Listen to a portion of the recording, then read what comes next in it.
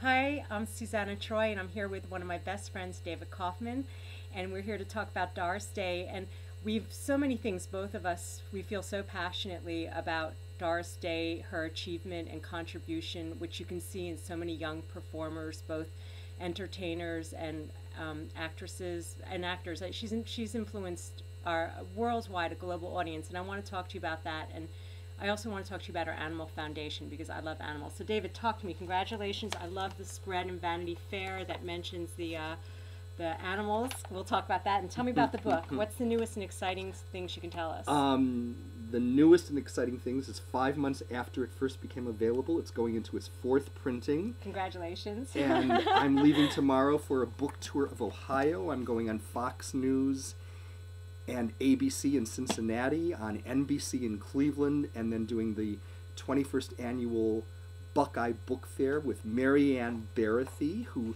wrote a memoir of her years working for Doris. Okay, uh, you know one what of I want she lived with her. Okay, what I want to do is talk about Doris and how, why you love her so much. I love her so much because, well, my primary reason for working on this book and devoting eight years of my life to it was because I felt that she was so undervalued as an artist, as a performer, as an We all know that feeling. and a singer. Go ahead. as an actress and a singer, but primarily even more as an actress. But also, what I've come to have even more admiration for is the happiness that she's brought to so many people all over the globe, all around the world, who are now in their 50s and 60s, a number of whom had unhappy childhoods, but she made them feel happy whenever they listened to her music, saw her movies.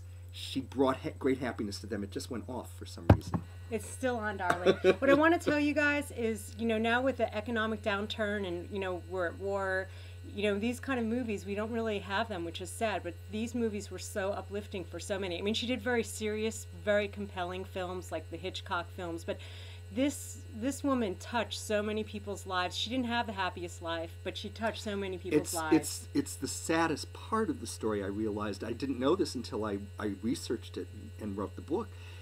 As happy as she made so many people in so much of the world, she herself had a very unhappy life. and that's that's heartbreaking. and it's very very sad it's part of the reason she did turn to animals and Right. she's devoted the last 30 years of her life to animals She's a She is- superstar when it comes to animals. There's beautiful stories and hear about it. The Vanity Fair. If you're if you haven't seen it, you should read that. And I want to tell you, it's www.dorisday. I'm sorry. Let me say www.ddaf.org, and I'll put the link to this YouTube. Go ahead. Tell me one thing. she also said she doris has also said that she never met an animal she didn't like and she could not say the same thing about people Ditto, ditto, ditto. I we love you. Check out Doris. Thank you. Bye bye.